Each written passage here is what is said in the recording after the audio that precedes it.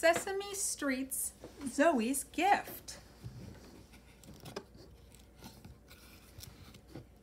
Zoe found a penny today. It goes in her bank. The count helps Zoe count her pennies, just enough for a bracelet. Then Zoe sees a rattle for Natasha. Which will Zoe choose? Surprise, Natasha, says Zoe. Natasha's daddy has a surprise for Zoe, too. What a lucky day.